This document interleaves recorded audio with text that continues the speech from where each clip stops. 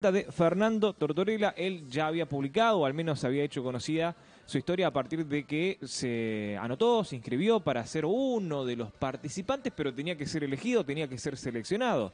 Hay una gran noticia, por eso está en línea Fernando, ¿cómo estás? Buenas tardes, te saluda Franco Cervera para el periódico Radio. ¿Qué tal? Hola Franco, buenas tardes, ¿cómo andás? Bien, Yo muy bien, nervioso, rasguñando los techos, más o menos. imagino, muy ansioso debes estar Oh, des- después de que llegara ese llamado. Sí, sí, realmente eh, hoy me llamaron eh, diciéndome que de 1.500 personas soy uno de los convocados. Qué maravilla, qué maravilla. Así que obvio que no voy a ser el único convocado porque de ahí va a haber una preselección Ujú. el día lunes, si Dios quiere, en la cual me van a me van a hacer hacer, me hacen llevar una torta para ver la prolicidad y todo. Sale así que la, la que me habló, de allá de Buenos Aires, me dice, no te pongas nervioso, pero esa torta que vas a llevar, dice, hace de cuenta que es la de la gran final. Pero no te pongas nervioso. Es lo mismo que te digan, come veneno, pero no te vas a morir. Claro, Algo así, más Te- o Tenés menos. que patear un penal y, y definís la Copa Sí, del Mundo, sí. nada más y nada menos. ¿eh? Exacto, sí, la definición de, de la pateada de ese, de ese penal. Bueno, Fernando, Pero- pero nos alegramos muchísimo de que ya estés en esta instancia. Ya, ya, va- ya me vas a contar un poquito de cómo ha sido la participación tuya, o al menos cómo, cómo fue esta idea de participar. Vamos a contarle un poco a la gente tu historia. Eh, ¿Cuántos años Bien. tenés, Fernando?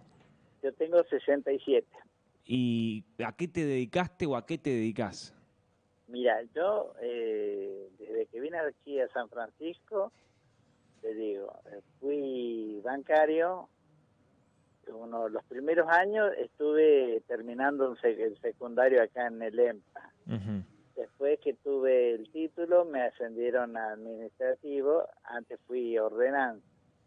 De ahí conozco a la que fue mi esposa, que estuvimos 40 años juntos hasta que falleció. Mira.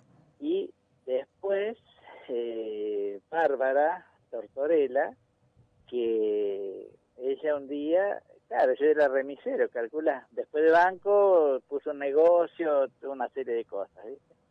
Y le dice mi hija, le dice, Bárbara le dice a mi señora, papá no me dará unas pastas frolas, dice, para que, para solventar los gastos, porque ella estaba por entrar a la facultad. Ella es profesora de baile y a su vez tiene un gym, ahí por 25. Y ustedes inclusive le han hecho una nota a ella.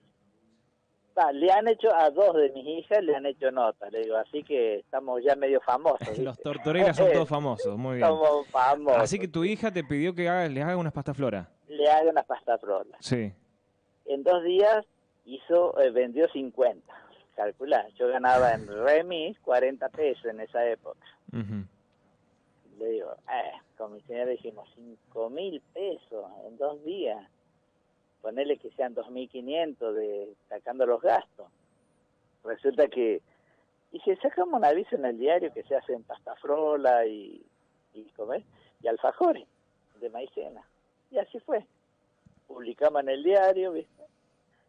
Y un colegio, eh, una directora, que era maestra de un colegio donde soy medio fundador de ahí, de la FABA, resulta que me piden 1.400 pastafrolas. Uh.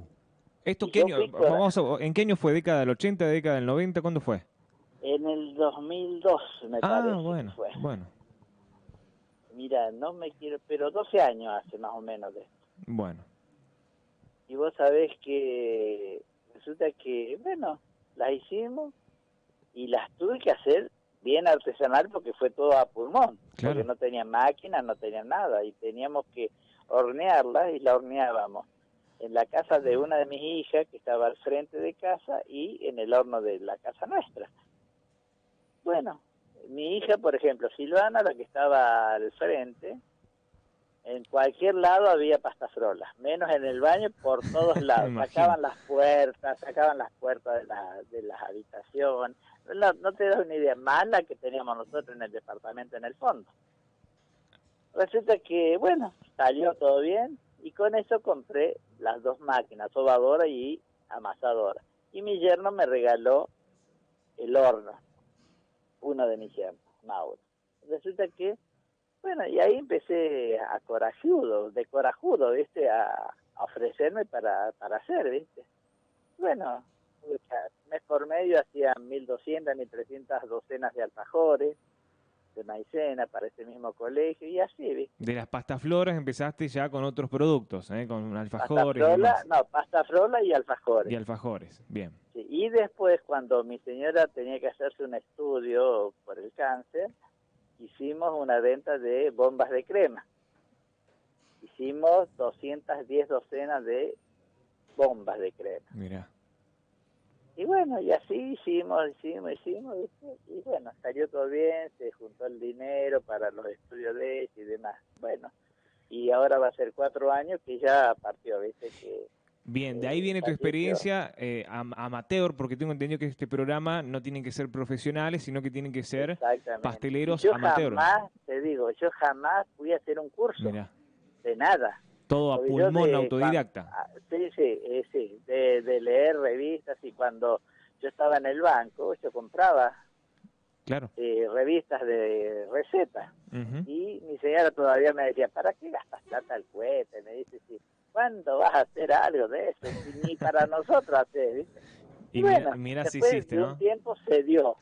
Y ahora, eh, claro, yo ya había dejado todo, ¿viste? Porque estoy acá en el campo de mi consejero y bueno, y resulta que sale esto de, de Deiko. ¿Cómo te enterás de, de, este concurso, de, la inscripción para, para el programa? ¿Cómo te enterás? Claro, resulta que, viste, en La Voz Argentina, yo tengo eh, mi hija Pamela, que canta muy bonito, y en febrero se me escapó la, la tortuga, como quien dice, viste, no, no, no, no la pude anotar a ella. Bueno, y pasó, pasó, y ahora estaban pasando la publicidad. El lunes pasado, leo, escucho en el canal de Telefe eh, que estaba Bacos de vuelta. Y le digo a Pamela el día lunes, le digo, ¿qué Pamela? Le digo, si me anotas, le digo, dale, dice, va, dale, dale. Y bueno, ella me, ella me anotó, ¿viste? Porque yo de tecnología cero a las, ¿viste? ¿Y cómo fue? ¿Grabaste un video? ¿Grabaste un video mientras hacías la, la, pasta flora? No, claro, porque en los requisitos decía que tenía que eh, me tenía que hacer un video haciendo yo la, la cocina, eh, cocinando, ¿viste? Entiendo. Y bueno, hice la pasta flora, mientras almorzamos, eh, se cocinó, la saqué, y, siguió filmando cuando la saqué, cuando la decoré, y lo mandó, ¿viste? El día martes me llaman a las 10 de la mañana, dándome pautas de qué es lo que yo tenía que llevar, o mandar, no llevar, mandar, ¿viste? Que tenía que firmar unas cosas, ¿viste? Todos unos papeles. Bueno, requisitos que, que entran en el concurso, ¿eh? Claro. Y bueno, de ahí hasta el día jueves, no sé si te digo, me llamaron tres veces por día, desde Buenos Aires me llamaba para decirme esto, para decirme lo otro.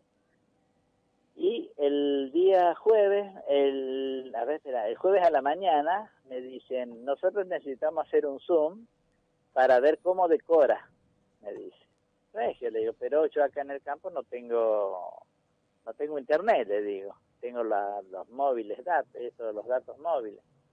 Bueno, me dice, pero yo voy a la casa de mi hija, y fue de Pamela que me anotó, y me dice, papi, yo salgo a las 12, así que dos y media ya estoy. Y así fue. Eh, yo llevé la torta hecha y allí preparé el decorado, que fue un merengue italiano. Y fui, ellos lo que querían ver cómo yo me movía y cómo me manejaba con la decoración. Bueno, o sea, aparentemente les gustó y después otra señorita me, me hizo una serie de preguntas y me dice, bueno, esto lo vamos a mandar a estudios para que lo juzguen, es decir, el jurado. Bueno, le digo, eso fue el viernes. Y finalmente te llamaron. Y el lunes me llama diciéndome que estoy, estoy eh, convocado. Dice, pero el martes los llamamos, martes o miércoles los llamamos para darle todas las pautas. Me llamaron el miércoles Sí, porque el 20 fue el Día del Amigo, el, el miércoles me llaman, me dice, no tenemos todavía el lugar donde lo vamos a convocar, pero eh, quédese tranquilo que usted está convocado. Así que no se haga problema. Se estaba cortando alambre, te digo. Resulta que el, hoy es viernes. Viernes. Ayer me llama y me dice, mire, todavía Osvaldo Fernando me dice, no no no lo no lo llamamos porque todavía no tenemos el lugar. Entonces yo le digo, bueno, pero está, me volvían a, a recalcar que estaba en convocado. Y hoy me llamaron diciéndome que, bueno, que tenía que presentarme el día lunes a las 12 del día, que es donde me iban a hacer un hisopado, y ahí entrar. Qué fenómeno. Y ahí tengo que, que hacer, llevar una torta y hacer otra torta. El lunes vas a tener que estar en Buenos Aires, entonces. ¿Ya sabes el En lugar? ¿En, el canal será? ¿Dónde será? No sé, eh, creo que es Ramos Mejía. Bien. La de particularidad. Fer, la particularidad es que vas a ir a Buenos Aires, me decías, en moto. ¿Esto es así? Sí, me voy en moto, exactamente. ¿Manejando Todo vos en moto te vas? Sí, sí, me fui hasta Ushuaia en- antes que Ah, empezara bueno. la pandemia, así que eh, acá a Buenos Aires son 700 kilómetros. A Ushuaia me hice 6.000, calculá. Te encanta viajar en moto entonces. Mm, es- mira, es como toda mi vida, corajudo, ¿viste?